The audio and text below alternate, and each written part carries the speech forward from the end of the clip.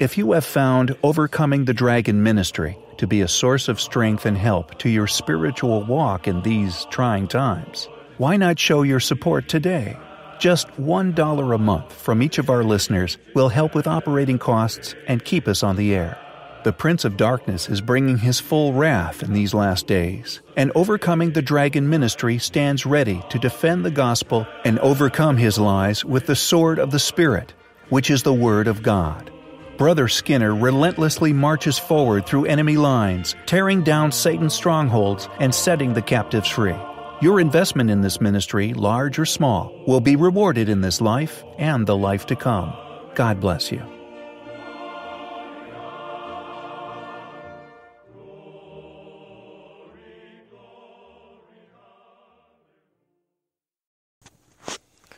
Well, the Lord has said that He's sending the spirit of Elijah in these last days. Amen. Turn the hearts of the fathers to the children, children to the fathers. God is sending the spirit of Elijah. Now, Jesus said concerning John the Baptist, Spirit of Elijah has already come, or Elijah has already come. Amen. Now, John the Baptist, being filled with the Holy Ghost, this was the spirit of Elijah, because the spirit of Elijah is the Holy Ghost. And when they asked John who he was, John said, I'm just the voice of one crying in the wilderness. Amen. I'm just the voice of one crying in the wilderness. They asked John, they said, John, are you the Christ? He says, No. In fact, John said, I'm not even worthy to loose the shoes. Never mind take the shoes off his feet. Never mind wash his feet as a servant would standing at the door. Amen. When someone came to visit at someone's home, John says, I'm not even worthy to unloose his shoes. In other words, I'm not really worthy to even serve him. I'm just the voice of one crying in the wilderness.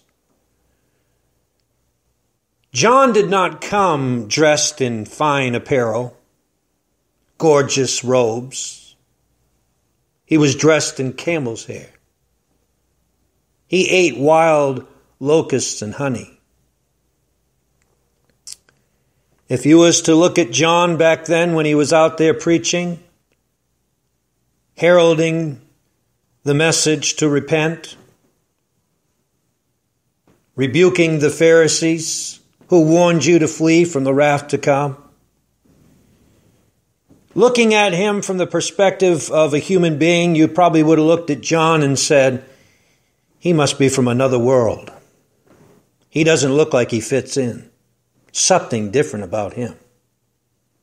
Amen. Look at him. He's poor. He doesn't have anything. Look at him. Look what he's dressed in. But yet, when Jesus came, nobody recognized him except John. And John recognized him by the Spirit. He said, I saw the Spirit like a dove resting, lighting down upon him. And John began to proclaim to those around him, Behold the Lamb of God which taketh away the sin of the world. John didn't know that, but by the Spirit. Because when John's head was about to be cut off, he said, Go see if it's really him. What do you mean, John? I thought you knew that he was the Son of God. Thought you knew he was the Lamb of God. By the Spirit, he knew. Are you listening, people? By the Spirit, John knew. John was filled with the Holy Ghost from the day of his birth. Nobody had been filled with the Holy Ghost from their birth like John. Are you listening? He was the forerunner for Jesus. John was the one that said, I'm not the Christ, when he was asked. He says, I'm just the voice of one crying in the wilderness. Amen. Make his path straight. The king is coming. And when Jesus came, even as an infant, Herod was afraid of him, how he was going to take his place, the prophecy being fulfilled. He wanted every single firstborn killed. He didn't want anyone taking his place. Are you listening? Jesus always takes first place, and there are those today that don't want him to take first place. He always takes the preeminence because he is the preeminence. How many know that Jesus Christ is not just a man? He's the God man. Amen. He's the Word that became flesh and dwelt among us. Amen. He's not a star man. He didn't come down from space out of a star, as they would like you to believe today. No, that star simply marked his where he was uh, born where he was laid. Doesn't matter what time of the year he was born. They try to get caught up in that too. What matters is that he was born. Praise God, the devil doesn't want you to believe that. That Jesus Christ, the Son of the living God, was born of a virgin. Hallelujah. Jesus Christ, born, born of a virgin. She had never known a man. Never had she been with a man. She said, How can this be? How is it possible to the angel? How? How can I give birth? I've never been with a man. I've never known a man.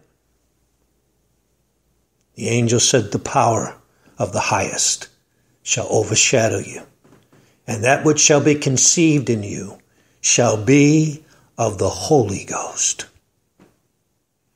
Amen. Mary said, Let it be. Even as you said, let it be. She surrendered to the word. Amen. All my listeners that are out there right now, if I could just get you to surrender to the word. If I could just get you to surrender to the gospel that's being preached to you right now, just surrender. Surrender all. Amen. Hallelujah. She surrendered to the word. That which shall be conceived in you shall be of the Holy Ghost. The Word became flesh and dwelt among us. Amen.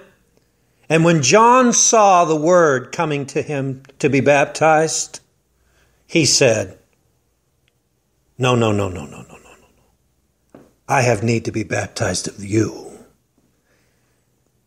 And the Word, the Christ of God, the Son of the living God, said to John, the one that said he's not even worthy to unloose his shoes, that was dressed in camel's hair, that everybody looked down upon, everybody thought he was poor, everything, everybody thought he was contemptible, said to John, Suffer it. Suffer it, John. Go ahead, John, I'm going to let you do it. To fulfill all righteousness. Hallelujah. Glory to the Lamb. Hallelujah. When Jesus came up out of that water, no, John didn't just sprinkle a little water on his head. He baptized him under the water. Amen. Just a little sprinkle of water on your head's not enough. Get under there. Amen. It's not the water that saves you, it's not the water that cleanses you. Jesus didn't need cleansing. Listen, people. When he come up out of that water, the Spirit of God lighted down upon him and remained on him. Are you listening? Hallelujah. All the people around didn't see it. John did. I remember at my pastor's funeral, as they were, his casket was there and they were lowering it into the ground. I saw the Spirit of God lighting upon that casket like a dove. Nobody else saw it. It wasn't for everybody to see. It was what God wanted me to see. And I thought about that. My pastor that's died in the physical. Are you listening? The Spirit of God descended like a dove. It wasn't a dove, not a physical dove, it wasn't a bird. It was the Spirit of God like a dove, gentle. Are you listening? Beautiful. Lighted down upon the Son of God. And here my pastor is in a, in a, in a casket, and the Spirit of God lights upon him like a dove. What does that tell us?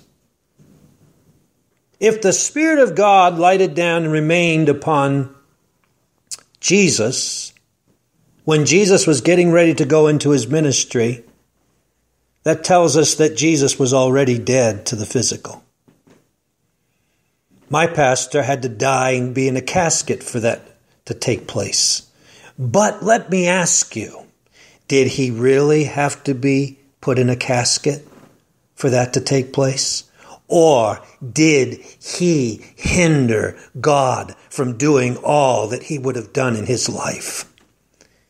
Are you listening to me, people? If you won't God, take God at his word, God's not going to force himself. I saw the Spirit of God light down upon my pastor's casket. John saw the Spirit of God light down upon Jesus. Jesus was still walking around with his physical body. My pastor was in a grave. Are you listening to what I'm telling you? We got to die, people, to that flesh. We've got to die to the flesh. There's got to be a crucifixion of the flesh. There's got to be a death to the self life. If we're going to be walking in the power of God, if we're going to be overshadowed by the Holy Ghost, if we're going to be His bride, there's got to be a death to the self life. Hallelujah. The scripture says that Jesus returned in the power of the Spirit. After he had fasted 40 days and 40 nights, he returned in the power of the Spirit. One place it says he was led of the Spirit. Another place says he was driven. Sometimes the Spirit will drive you. Hallelujah. I thank God he does. Because there's a lot of times I don't want to go in the direction God wants me to go in. But I thank God in His gentleness and how He'll be willing to drive me. Hallelujah. Praise the living God, brothers and sisters. Our God is good. Amen. Whether he's leading us or driving us, praise God, he's in control and we can put our trust in him. Hallelujah. God will never do you wrong. The Lord will never do you wrong. He'll always do you good. But the Lord knows what we need. Sometimes we need a, to be driven, sometimes we need to be led. Amen. Sometimes when I preach the gospel to you folks, sometimes you may feel driven. Sometimes you may feel the force of the, the message. But sometimes you feel being just being led. God is gently leading his dear children along. Amen. But there's times that we need to be driven. Amen. Praise God. But just remember this God's not driving you off, amen, to be slaughtered. The Lord is driving you in the direction you must go. I remember one morning the Lord woke me up and He said, I had to take you this way. It was almost like Jesus was apologizing to me, but I knew He wasn't because the Lord wouldn't apologize to me. But just his words, the way he spoke to me, the compassion in his voice when he said, I had to take you this way. Amen. I had to take you this way. Job learned the truth when he said, He knows the, t- the path that I take, He knows the way I take. Amen. When He's tried me, I shall come forth as gold. Some of you out there listening to me right now, if not all of you, are going through struggles. You're going through hard places. You're going through the fire. But remember, He knows the way you take. Hallelujah. And when He has tried you, you shall come forth as gold. That fire's for a purpose. That fire's for a reason. God is perfecting you. God is changing you. God is transforming you to make you like the Word so that you can be like the rock, so that you can be like Jesus, so you can be like our great example of what a real man is, a real servant.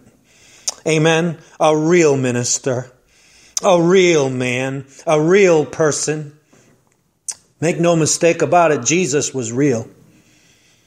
Amen. He was real. Hallelujah.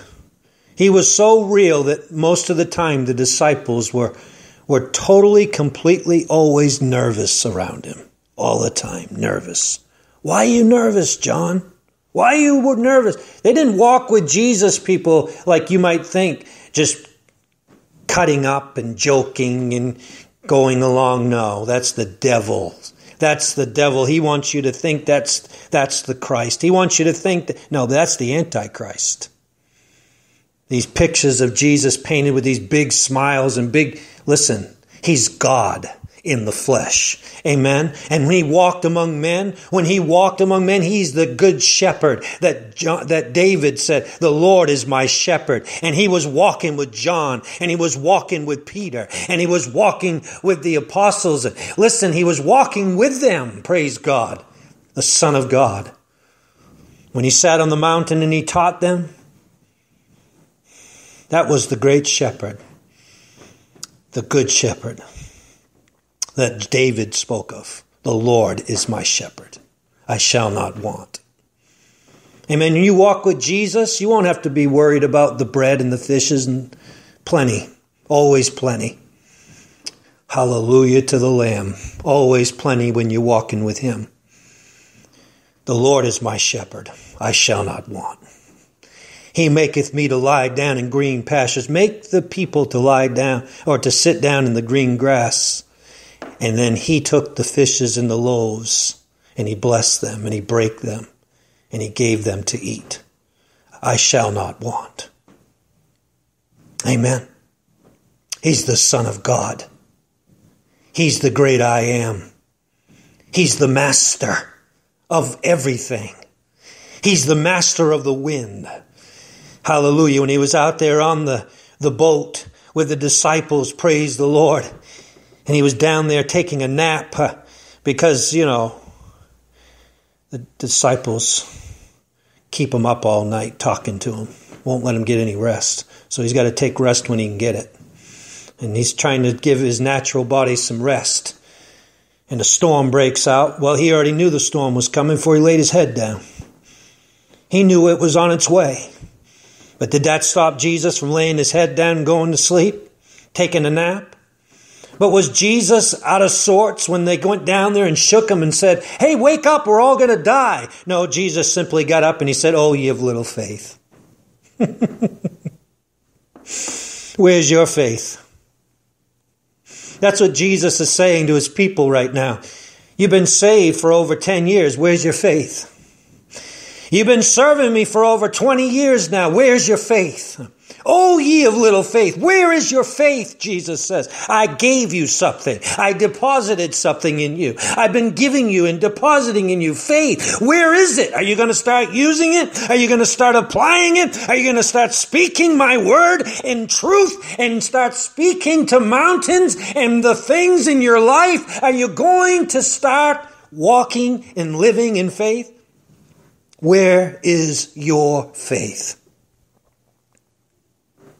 Doesn't the scripture say to let God sleep? Don't awaken. Don't awaken. Don't awaken him. Don't wake up the wrath of God. Don't waken the anger of God. Where is your faith? When Jesus comes, will he find faith on the earth? Do you really want the Lord to be angry with you? Do you really want the Lord to look upon you with rebuke? And he says to you, Where is your faith? Hallelujah. The Lord wants us to grow. He wants us to develop. He wants us to stop saying that He is just a little God that he can't handle my problem. He can't handle my situation. The Lord is angry right now with those that are running to doctors and hospitals instead of going to Him for their healing. That's right. That makes God angry when we turn to doctors. Now, when I speak of God, I'm talking about the Father, but remember, the Father doesn't know about weakness. Jesus was touched by our infirmities. He has compassion on us, but the Father is angry. That makes him angry because he knows that he's all we need. He knows he is, he is our healing. He knows he's our all in all. He's everything we need, and that makes God angry. But Jesus, because he's been touched by our infirmities, by our weaknesses, he has compassion on you and I. And so when we decide to go to a hospital or go to a doctor, the Lord suffers it. The Lord allows it. But it's only to your own confusion. How come we don't go to Jesus anymore for our bodies? How come we let society dictate to us and tell us that Jesus doesn't heal anymore? How come we don't go to Jesus anymore, brothers and sisters, when we have a problem? Why do we have those calling themselves Christians today running to psychologists, running to psychiatrists, running to the pills? Take pills to go to sleep, take pills to wake up, take pills to get through the day. And the only thing you need to take is the gospel. How come we don't go to Jesus anymore for healing? people. Where is your faith? Where is your faith? Yeah, we want to go wake up Jesus and say, Jesus, I need you to believe for me again. Why do you need Jesus to believe for you? He's given you faith. He gave you a measure of faith. Why is it that we don't want to appropriate or to do what we know to do? Why are we afraid to operate in faith? You know why?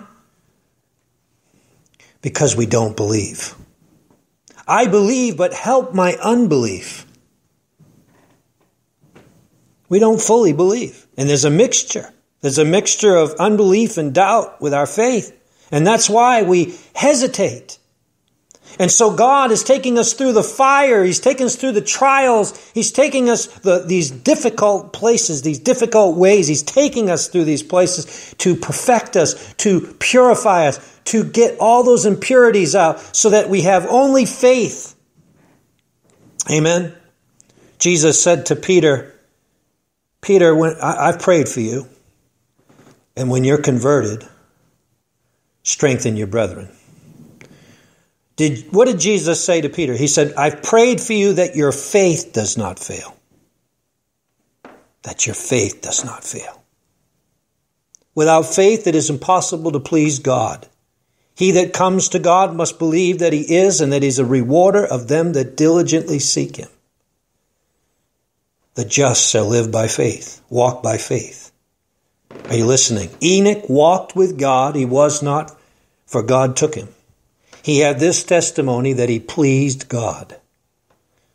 Are you listening? The more truth that you have in your life, the more people around you are going to get nervous.